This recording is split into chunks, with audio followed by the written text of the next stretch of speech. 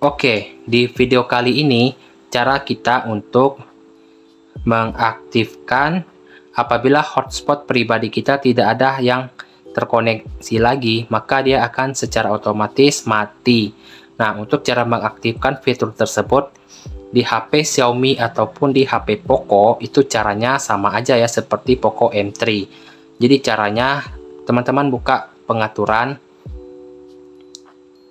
kemudian teman-teman pilih tentang telep uh, sorry. Teman-teman pilih hotspot portable. Di sini teman-teman cari yang namanya otomatis matikan hotspot. Nah ini ya.